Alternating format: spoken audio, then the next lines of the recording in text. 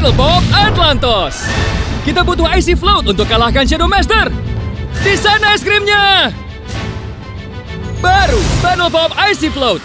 Es krim dengan sensasi menyegarkan dan krim vanila di dalamnya.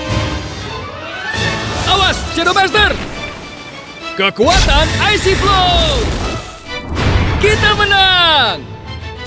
Baru Battle Pop Icy Float. Coba sendiri dan ikuti petualangannya.